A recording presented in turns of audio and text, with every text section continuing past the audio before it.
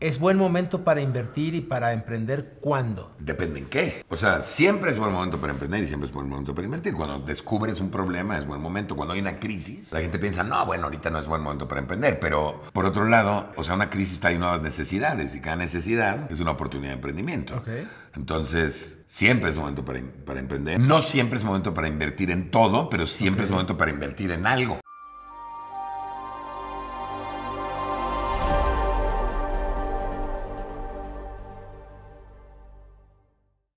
Hay que ver en qué entonces. Hay que ver en qué. Por ejemplo, la gente dice, no, pues ahorita bienes raíces está muy mal. No es cierto. Bienes raíces, por ejemplo, industriales, está muy bien. La gente está empezando a hacer dark kitchens y dark everything. Este, y, están empezando a usar muchísimas propiedades industriales. Entonces quiero invertir en... Comercial, pues, malísimo momento para invertir. Pero, por ejemplo, residencial, yo creo que en algunos rubros es buen momento porque la gente, especialmente después de la pandemia, está buscando casas más grandes, está buscando casas en el fuera de la ciudad, o sea, hay lugares, ¿no? Para todo. Ahorita yo no invertiría necesariamente en una agencia de viajes, mm. pero pues sí invertiría en, en algo que resuelva algún problema tecnológicamente, ¿no? O sea, depende, depende de muchas cosas. Yo creo que más bien hay que ver hacia adelante, ver las tendencias, ver hacia dónde va el mundo y tomar esas decisiones. Y nada es fácil, ¿eh? No hay fórmulas secretas. Ni hay negocio mágico que mañana me haga millonario. Exacto. Para no abusar de tu tiempo y agradeciendo tu energía y todo tu conocimiento y además la empatía con nuestra audiencia, ¿cuál sería el pitch perfecto que quieres escuchar? Al que digas, híjole, no hay forma que a esto le diga que no, independientemente del producto de la idea. Me queda claro que hay que resolver un problema, pero cuando llega un emprendedor y se para enfrente de ti, pues a lo mejor su proyecto es muy bueno y el pitch no fue tan bueno. Eh, si alguien nos está escuchando y dice, a ver, yo le quiero pitchar a Marcos, ¿cómo le tendría que pitchar? Un buen pitch para mí es algo que te genera, primero, drama. O sea, te presentan un problema. Luego te presenta, te genera suspenso. Te presentan el impacto de ese problema. Ok, estás describiendo una película. y luego te resuelve, bueno, también porque quizás soy cineasta. Y luego, y luego te genera satisfacción en el sentido que resuelven el problema. O sea, para mí un buen pitch es algo que en lo que empiezas y haces, y luego haces, y luego haces, ¡ah! y ahí es cuando me late. Y la otra cosa que se, ve importante es que no te digan todo. Mucha gente, el error que comete es que cree que en ese minuto, esos dos minutos, esos cinco minutos, te tienen que decir todo. Y la realidad es que el, efecto es al revés. Mientras menos te dicen, más curiosidad te da. Un buen pitch, por ejemplo, es,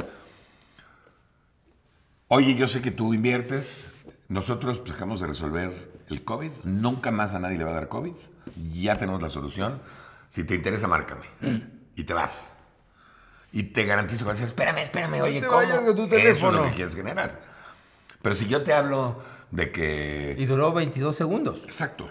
O sea, eh, hay maneras, hay trucos. Y ya después los números, y ya después el negocio, y ya después... Lo que yo siempre digo a los emprendedores es, nunca he conocido a nadie que cierre en la primera cita algo. La primera cita es para que tengan una segunda cita. Con eso avanzamos. Entonces, si generas suficiente interés para que tengan una segunda cita, está bien. ¿Así mides a qué le entras y a qué no?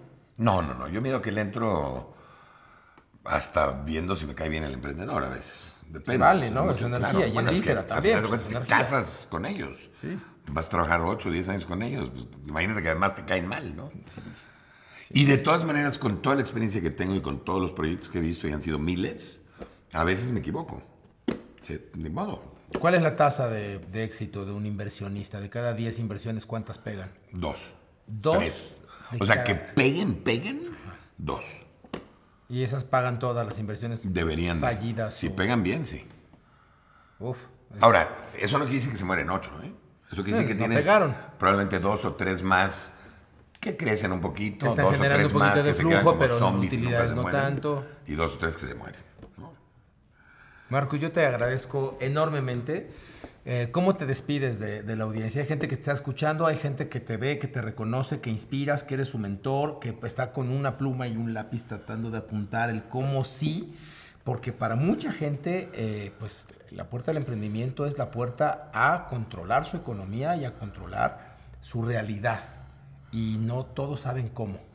¿Cómo, cómo te despides de esta audiencia? Mira, primero eh, saludándolos, por supuesto. Segundo, diciéndoles que necesitamos emprendedores. O sea, en la pandemia, como tú dices, mucha gente perdió su trabajo, pero muchas empresas cerraron.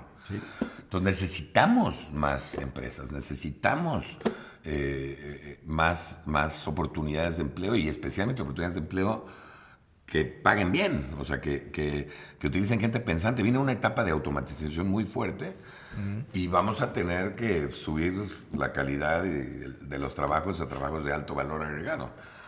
Entonces, atrévanse a emprender, por lo menos empiecen a pensar en emprender. Hay muchas maneras de emprender sin salirte de tu trabajo. No tienes que, como decimos en México, dar paso sin guarache. Vas creando ahí un. Vas creando poco a poco y cuando ya sientes que ya puede arrancar, te cambias.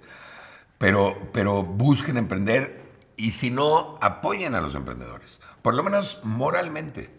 Es un, es un trabajo difícil este, y es un trabajo importante. Si queremos cambiar este país, tenemos que hacerlo a través del emprendimiento.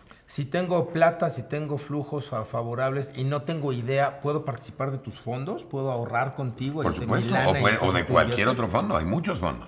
Pero, sí, tú, recibes capital. Claro. Y si alguien quiere emprender, ¿hay alguna escuela? ¿Hay alguna forma de tener Hay muchas, acérquense.